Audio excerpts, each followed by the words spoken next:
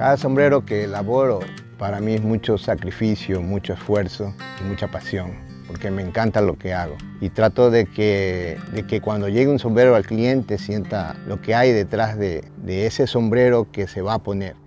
Mi nombre es Freddy Pachay. Yo trabajo como artesano. Mi padre me enseñó a mí el, el arte del- de los sombreros de paja toquilla. Esta de aquí es la mata de paja toquilla, el cual de aquí sacamos la materia prima para realizar los sombreros finos.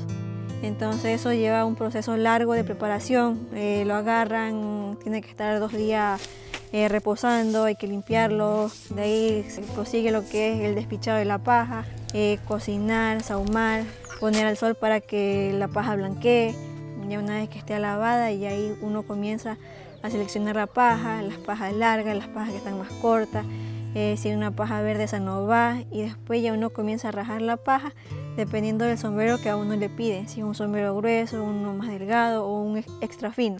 Entonces para hacer un sombrero lleva mucho, mucha paciencia y dedicación y esfuerzo de cada una de las personas que tejemos el sombrero fino. Cuando descubres todo lo que hay detrás de un solo sombrero, la cantidad de manos que tuvieron que tocarlo, trabajarlo, estrujarlo y hacer todos los pasos para hacerlo, llegas a valorar más un sombrero de paja toquilla. Mi hermano y yo somos ya la cuarta generación que venimos trabajando con sombreros de paja toquilla. Muchos de los extranjeros que vienen para acá siempre solicitan el sombrero Panamá. Siempre nos dicen, ¿tienen sombreros Panamá? Tenemos que decir, sí, sí tenemos. Aunque está pidiéndolo aquí en Ecuador, lo tenemos. Lo importante no es de dónde viene. Lo hacemos para nuestros queridos amigos que están en Panamá. El punto es que las personas sepan que en Latinoamérica se usa y se hace un sombrero de calidad hecho a mano 100% y que todo el mundo lo podría gustar. Las molas para nuestra cultura eh, es un símbolo artesanal, o sea, es un tesoro, en especial para la mujer. Nos representa a nivel mundial. Nos inspiramos en la naturaleza, en nuestro día a día, en lo que es la creación.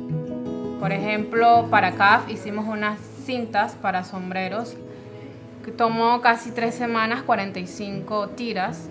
Nos une en muchos sentidos, ya que nosotros tenemos mucha similitud a nivel regional.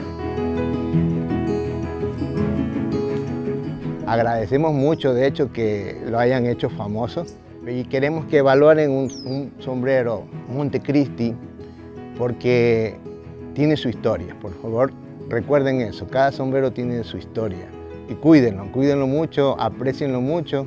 Es un sombrero, podríamos decir, de los más famosos del mundo, que lo que se está poniendo.